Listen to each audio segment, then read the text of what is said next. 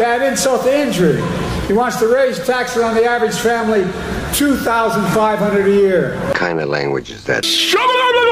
Wrong, wrong, wrong, wrong.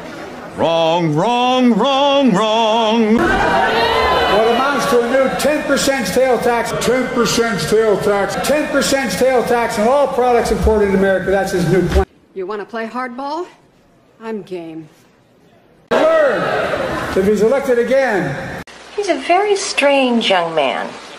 He's an idiot. and the MAGA Republicans pass a national ban on abortion, he will sign it. What you just said is one of the most insanely idiotic things I have ever heard. At no point in your rambling, incoherent response were you even close to anything that could be considered a rational thought. Everyone in this room is now dumber for having listened to it. I award you no points, and may God have mercy.